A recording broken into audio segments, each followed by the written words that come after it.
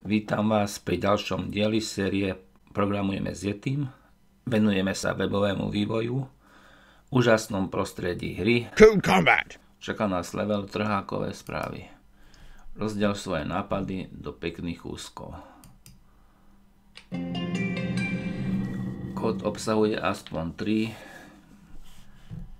3 br tagy. Napíš ďalší riadok. Tag br rozlomí text na dva riadky. HTML sa používajú tagy na formatovanie textu. Každý HTML tag začína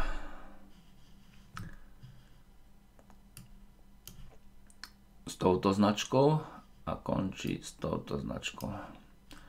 Tag medzi týmito dvomi značkami určuje správanie tagu. Tag br rozdeli text na dva riadky. Máme tu vítaj HTML, za ktorým nasleduje tag br.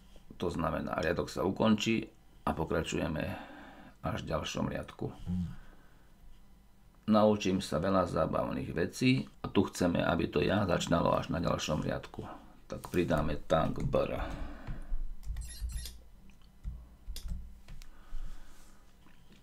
Ja chcem byť na mojom vlastnom riadku a nie hneď za predchádzajúcou vetou. Pridáme ďalší Bankbar. To znamená, že text bude nasledovať až tu. Programovanie s je tým hotovo.